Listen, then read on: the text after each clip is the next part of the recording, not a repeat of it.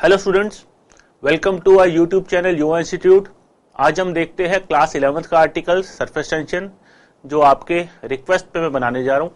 Surface tension basically free surface of liquid की property है। Free surface of liquid यानी कि वो वाला सरफेस जो हवा के साथ कांटेक्ट में है। इसको थोड़ा सा समझते हैं। लेटस से ये हमारे पास एक कंटेनर है और इस कंटेनर के अंदर हमारे पास लिक्विड है। Right right? अब इस लिक्विड के, पूरे लिक्विड के अंदर, पूरे सरफेस में हर मॉलिक्यूल अपने साथ वाले मॉलिक्यूल को एक मेजरेबल फोर्स ऑफ़ अट्रैक्शन दे रहा है, जिसकी वजह से सारे मॉलिक्यूल्स एक दूसरे के साथ ज्वाइंट है। लेकिन ये मेजरेबल सोर्स ऑफ़ अट्रैक्शन जो ये दे रहा है, इसकी एक रेंज है, एक रेंज तक ही एक मॉलिक्यूल दूसरे को अट्रैक्ट कर सकता है, और रेंज से दूसरा मॉलिक्यूल अगर बाहर हो जाए तो वो पहले मॉलिक्यूल की अट्रैक्शन से बाहर निकल जाता है। सो so, यहाँ पर मैं एक चीज़ कहता हूँ यहाँ पर हम एक एग्ज़ाम्पल देखते हैं कि यहाँ पर जो टॉप मोस्ट लेयर में मॉलिक्यूल है वो एक उसकी एक पर्टिकुलर रेंज है जहाँ तक वो मॉलिक्यूल को अट्रैक्ट कर पा रहा है इस स्फेयर से जिसको मैं स्फेयर ऑफ़ इन्फ्लुएंस बोलता हूँ इस स्फेयर से अगर दूसरा वाला मॉलिक्यूल सेकेंडरी मॉलिक्यूल बाहर आ जाता है तो वो प्राइमरी मॉलिक्यूल की अट्रैक्शन वाली रेंज से बाहर निकल जाता है नाउ अगर ये मॉलिक्यूल थोड़ा सा नीचे है तो ये इसका स्फेयर कुछ ऐसे बनेगा राइट right? इसमें ऊपर की तरफ़ भी फोर्स ऑफ़ अट्रैक्शन है पर नीचे वाली अट्रैक्टिव फोर्स ऊपर वाली से ज़्यादा है। और अगर ये वाला प्राइमरी मॉलिक्यूल मेरे पास सेंटर पे है तो इसका हर तरफ़ से फोर्स ऑफ़ अट्रैक्शन ज़्यादा है। अब हो कह रहा है? अगर मैं इस यहाँ से टेंजेंट ड्रॉ करूँ तो इस टेंजेंट के अंदर जितने भी मॉलिक्यूल्स है, ये सब पर इफ़ेक्टिव फोर्स टोटल फोर्स नीचे की तरफ़ है, ये सब नीचे जाना चाहते हैं। पर जाना तो ये नीचे चाहते हैं, पर नीचे जा नहीं पाएँगे क्योंकि नीचे जगह खाली थोड़ी पड़ी है इनके लिए। अब यहाँ पर एक फिनोमिनन समझते हैं। ये सरफेस टेंशन जैसे मैंने बोला, ये सरफेस की प्रॉपर्टी है। तो हर मॉलिक्यूल जो दूसरे मॉलिक्यूल को अपने साथ, अपने जैसे मॉलिक्यूल को अट्रैक्ट कर रहा है, ऐसे फोर्स को हम कोहेसिव फोर्स बोलते हैं। यहाँ पर कोहेसिव फोर्स नीचे की तरफ़ है, इस वाले में कोहेसिव फोर्स नीचे की तरफ़ है। इसमें नीचे भी है, ऊपर भी है तो नेट फोर्स नीचे की तरफ़ है, कम है। इसमें कोहेसिव फोर्स की कोई डायरेक्शन नहीं है, क्योंकि इसमें हर तरफ़ फोर्स बराबर है। अब यहाँ पर एक चीज़ समझे रिएक्शन जो होता है, वो सरफेस पे होता है। चाय पीते हैं तो चाय ठंडी कहाँ से होती है? चाय ठंडी सरफेस से होती है। चाय को कप की जगह आप प्लेट में डाल दो तो वो जल्दी ठंडी हो जाती है, क्योंकि उसका सरफेस एरिया ज़्यादा है। प्लेट का सरफेस एरिया ज़्यादा है तो वो जल्दी ठंडी हो जाएगी। यानी कि जो रिएक्शन हो रहा है, ठंडे होने का प्रोसेस है, वो उस लेयर के ऊपर डिपेंड करता है जो चाय का फ्री सरफेस और एयर के साथ कांटेक्ट में वो लेयर जितना ज़्यादा होगी कूलिंग का रेट उतना ज़्यादा हो जाता है। अब यहाँ पर समझे, अब जब भी कूलिंग हो रही है, ये एक अनस्टेबल चीज़ है। स्टेबिलिटी हर बॉडी अपने आप को स्टेबल करना चाहती है। स्टेबल कोई भी बॉडी तब होगी जब नंबर ऑफ़ मॉलिक्यूल्स कम होंगे। एक कमरे में बहुत सारी लेडीज़ बैठी है, शोर बचाया हुआ उन्होंने, उसमें स्टेबिलिटी नहीं है। थोड़ी बैठी होंगी, एक दो तो शोर कम हो जाएगा स्टेबिलिटी में आ जाएँगे। एक अकेली बैठी है तो वो क्या किसी से गप्पे मारेगी, क्या चुगली करेगी तो वो स्टेबिलिटी की फॉर्म है। तो नंबर ऑफ़ मॉलिक्यूल्स अगर कम होंगे तो बॉडी स्टेबिलिटी की तरफ़ जाती है। तो नंबर ऑफ़ मॉलिक्यूल्स हमने सरफेस पे कम करने हैं। सरफेस पे कम करने के दो तरीके हैं। सरफेस वाला अपना मॉलिक्यूल नीचे दे दे। नीचे को जगह खाली तो है नहीं तो नीचे जा नहीं सकता। तो as a result the fill surface film film at the top will try to contract ये एक दूसरे के नज़दीक आएँगे, कम करना चाहते हैं। और कॉन्ट्रैक्शन की वजह से ये एक मेम्ब्रेन बना देते हैं, जिसकी वजह से बाहर वाली कोई चीज़ अंदर नहीं जा पाती, जिसकी वजह से ग्रीसी नीडल सरफेस पे फ्लोट कर जाती है, जिसकी वजह से एक बग सरफेस के ऊपर बैठ जाता है और बैठता है, उड़ जाता है। राइट तो ये एक मेम्ब्रेन बन गई और ये मेम्ब्रेन जो है, ये for a given volume it try to acquire minimum surface area and this phenomena is surface tension ये मेम्ब्रेन बनाने वाला जो फिनोमिना है, ये सर्फ इसको हम सरफेस टेंशन बोलते हैं। ठीक है। अब ये सरफेस टेंशन जो है this surface tension is mathematically it is force upon length तो ये लीनियर प्रॉपर्टी है। मैं दोबारा आता हूँ। अगर मुझे सरफेस टेंशन की बात करनी है तो सरफेस टेंशन जो, की जो प्रॉपर्टी है, ये एक लीनियर प्रॉपर्टी है, यानी कि ये इलास्टिसिटी की प्रॉपर्टी है मेम्ब्रेन की, और इलास्टिसिटी लेंथ की प्रॉपर्टी होती है एरिया की नहीं। एरिया की प्रॉपर्टी सरफेस एनर्जी है। सरफेस एनर्जी क्या है? आपके पास एक फ़िल्म है, उसका एक गिवन एरिया है। मुझे उसके एरिया को इंक्रीज करना है तो उसके इंक्रीज करने में मैं जो वर्कडन करूँगा that work done is my surface energy तो लेटस से मैंने एक मेम्ब्रेन लिया। ये रही मेरी मेम्ब्रेन यहाँ से मैंने फोर्स एफ़ लगाया। फोर्स एफ़ लगाऊँगा तो क्या होगा? ये वाली मेम्ब्रेन आगे एक्सटेंड हो जाएगी। मैं थोड़ा सा इसको क्लैरिटी से बनाऊ डायग्राम को। द फ़िल्म लेटर से जैसे ये एक वायर है, इस वायर को मैंने एक सोप सॉल्यूशन में डिप किया। तो सोप सॉल्यूशन में डिप करूँगा तो क्या होगा? यहाँ पर एक सोप की फ़िल्म बन जाएगी। और जब मैं फूक मारूँगा फूक करके तो क्या होगा? वो गुब्बारे की फॉर्म में बन के बाहर आ जाएगा। जो मैंने फूक मारी, जो मेरे फूक मारने में मैंने एनर्जी इंपार्ट की, वो एनर्जी उसके अंदर स्टोर हो जाएगी। गुब्बारे के अंदर बबल के अंदर। वो एनर्जी बबल के अंदर स्टोर होगी।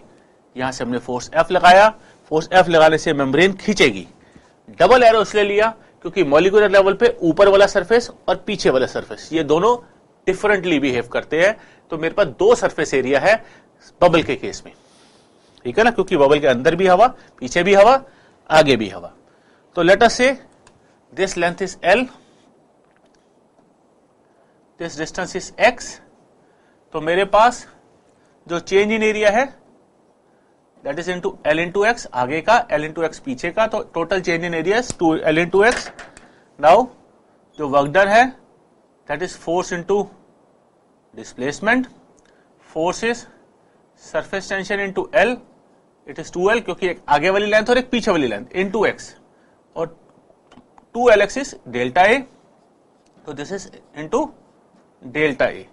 तो मेरे पास work done surface energy is equal to surface tension when delta A is unity तो surface tension can also be defined as equal to surface energy when मेरे भाई change in area is unity ठीक है बच्चे?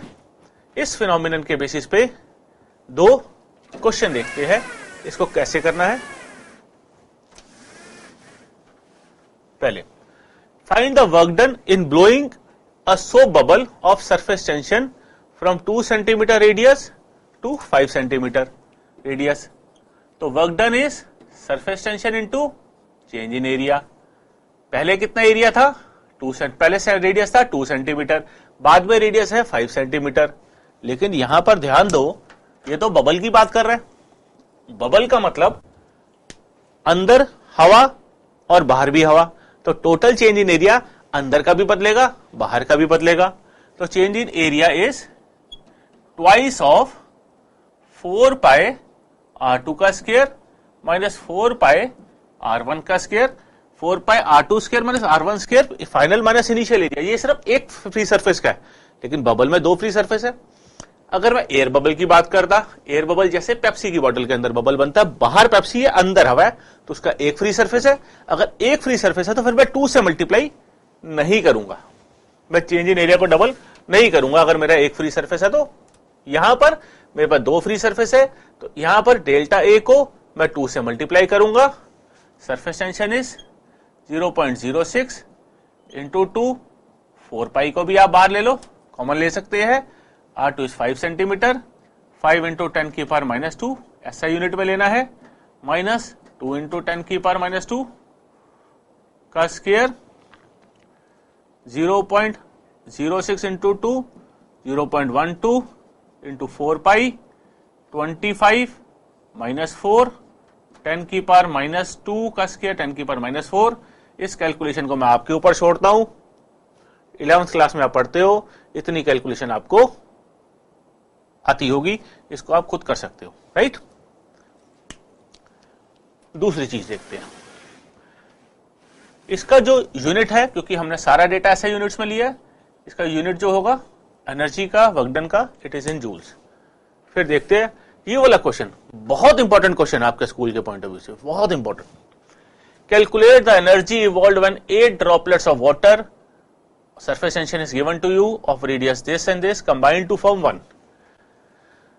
आठ droplet of water of radius this combine to form one तो सबसे पहले volume of big drop is eight times volume of small drop volume of big drop is four by three pi R cube capital R ले लेते हैं, बड़ा बड़ी drop है। Four by three pi capital R cube eight into four by three pi small R cube four by three pi four by three pi cut गया। Now capital R is two into small R capital R मुझे दे रखा है half millimetre zero point five into ten की power minus three metre two into small R तो small R is zero point two five into ten की पार minus three metre ठीक है ना? यहाँ से जब मेरे पास रेडियस आ गया तो अब we have eight droplets droplets का मतलब वन फ्री सरफेस वाटर की, पानी की बूंद है, पानी की ड्रॉप है, एक फ्री सरफेस है। तो हमारे पास जो वर्क डन होगा एनर्जी होगी surface tension into four pi R square change in area minus four pi small R का स्क्र यहाँ पर मैं टू से मल्टीप्लाई नहीं करूँगा, क्योंकि सरफेस मेरे पास एक फ्री है। S into four pi capital R square minus small R square S कितना है? Zero point seven two into four pi into four pi capital R square capital R कितना है कितना है कितना है? Capital R is one point zero point five into ten की पार minus three का square zero point two five into ten की पार minus three का स्केयर अगेन, इसकी कैलकुलेशन आप कर सकते हो। वो आप ही करो। ठीक है बच्चे? कंसेप्चुअली कोई चीज़ का कोई डाउट हो, ज़रूर पूछो। कोई और वीडियो बनाना चाहते बनवाना चाहते हो, मुझे ज़रूर बताओ। ठीक है? आपके सजेशन से मुझे हेल्प मिलती है कि मुझे आर्टिकल सिलेक्ट करने में हेल्प मिलती है। तो आर्टिकल एक बार सिलेक्ट हो जाता है, फिर उस पर वर्कआउट करके मैं आपको उस पर वीडियोस और अच्छे क्वेश्चन बनवा के दे सकता हूँ। ठीक है? वीडियो पसंद आई हो, हमारे चैनल को लाइक करो, हमारे चैनल को सब्सक्राइब करो। Thank you so much